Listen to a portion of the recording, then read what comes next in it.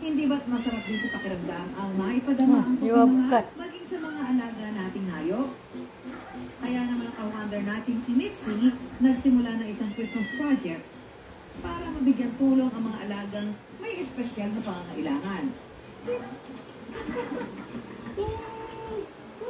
Tuwing Christmas po, meron po kaming fundraiser na ginaganap po para sa kanila. Ito po yung um, BFF certificates. Isang paraan po ito para makapag-raise kami ng funds.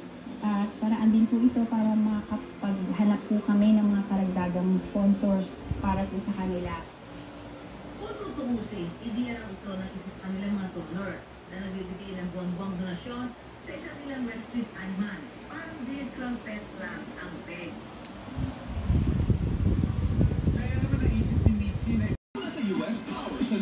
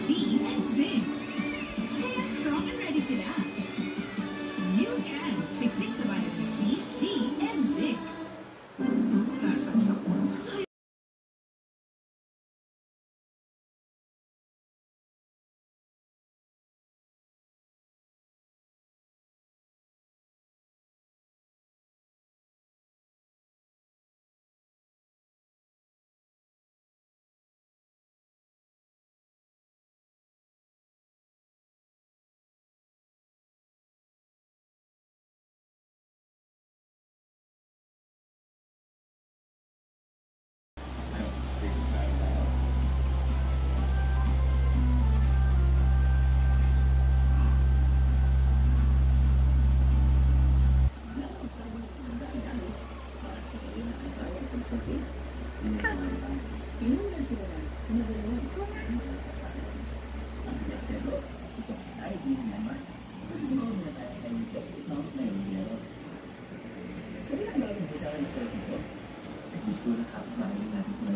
It was actually an idle property for a long time but they decided during the pandemic nung medyo nag-ease up restrictions they decided to put up a resort to also boost the tourism here in Albay.